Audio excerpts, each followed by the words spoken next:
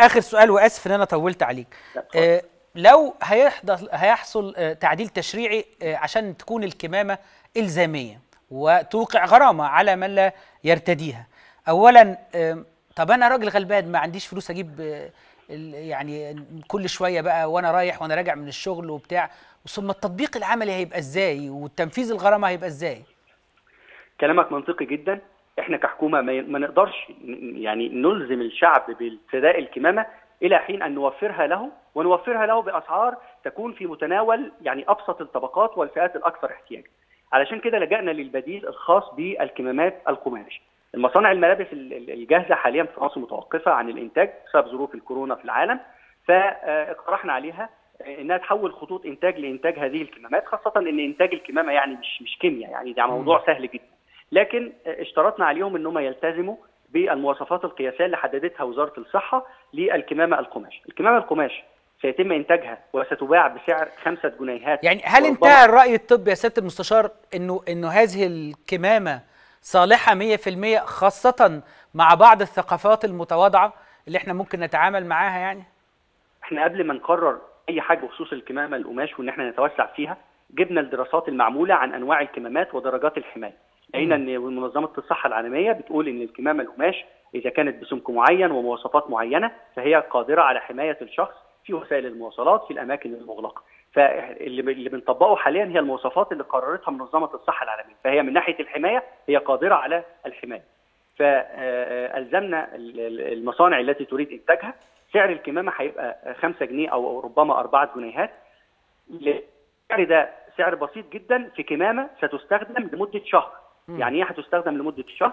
يعني مم. تستخدمها في اليوم وترجع تغسلها وتعقمها مم. أو حتى تغسلها بمجرد أي مادة منظفة موجودة في أي بيت مصري كفيلة بغسلها وتلبسها في اليوم التالي. تستطيع مم. هذه الكمامة أن تستمر معك لمدة شهر فلما بتصرف 5 جنيه في الشهر على كمامة أعتقد ده مبلغ يعني يسير وحتى يا سيدي الفاضل لو في بعض الفئات غير قادرة حتى على دفع هذا المبلغ صحيح فنحن طب طب العقوبة هتطبق إزاي؟ يعني آلية تطبيق العقوبة هتبقى إزاي؟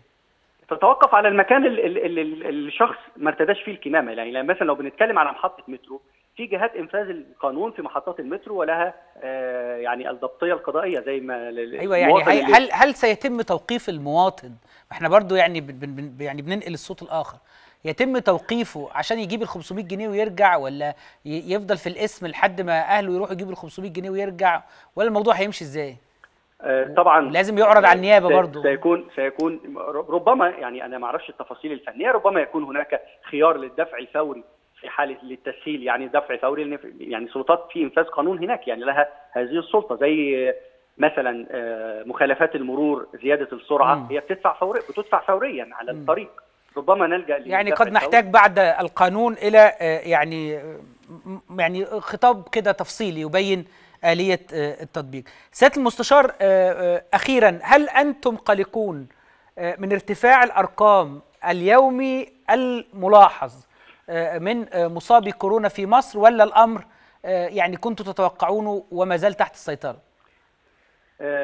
أي ارتفاع في الأرقام أكيد لازم يكون مصدر قلق لأي حكومة. لكن في حاجة مخلينا أو حاجتين مخلينا شاعرين بالاطمئنان الحاجة الأولى أن هذه الأرقام ما زالت في إطار قدرتنا الاستيعابية لأن عدد المتعافين كبير برضه ففي مقابل اللي بيدخلوا لسوق الكورونا جداد كل يوم من المصابين بيخرج أيضا أعداد كبيرة كل يوم ده الحاجة الأولى إن إحنا قادرين على استيعابهم. الحاجة الثانية بقى خبر جديد خالص امبارح العدد كان أو النهارده العدد كان 491 لا النهارده كان 510 آسف آه. النهارده 510 امبارح آه. كان 400 حاجة و90 صح. آه من 400 حاجة و90 دول 450 منهم تم نقلهم لنزل الشباب والمدن الجامعيه يعني حالتهم بسيطة. آه. بالظبط كده. فده شيء يطمئننا كثيرا واللي بيتنقل للمدن الجامعيه لو إحنا فتحنا يا سياده المستشار لو لو فتحنا النشاط 15 6 مثلا وفجأة لقينا الأرقام لا قدر الله لا قدر الله يعني 1500 في اليوم 2000 في اليوم حاجات بهذا الشكل. هل لدى الحكومة خطة حال وصولنا لهذه الأرقام؟ أكيد طبعا أي قرار بتتخذه الحكومة بيتم تقييمه على الأرض. المردود آه. القرار نفسه هو اللي بيحكم إذا كنا ممكن هنكمل فيه أو نرجع عنه الرجوع عن قرار أو إنك تغلق بعد ما فتحت ده مش ده لا يعيب أي طبعا أحد طبعا ولن ولن نكابر في في هذا آه، إذا إذا لا قدر الله وصلنا لذلك لن نكابر وسنتخذ على فكرة الدول. اللي فتحت برضو ما ضمنتش إن ما يحصلش عندها إصابات بأرقام مرتفعة يعني والدول اللي اتخذت برضه خلينا أقول الكلمة. ونفس الدول الحكاية اللي اللي. عملت اللي عملت حظر شامل آه، آه، وبعدين رجعت بقى يعني بعد فترة منهكة من الحظر صحيح. الشامل ما يعني الأرقام عندها ما وصلتش للنتيجة المأمولة مم. حققت خسائر مؤكدة صحيح. اقتصاديا والمكاسب اللي هي كانت بتأمل فيها للأسف لم تحققها اذا قرارات الحكومة مبنية على المعطيات اليومية المعطيات اليومية على الأرض بكل تأكيد دكتور يعني سياده المستشار نادر أنا بشكرك وبشكر دايما تعاونك معانا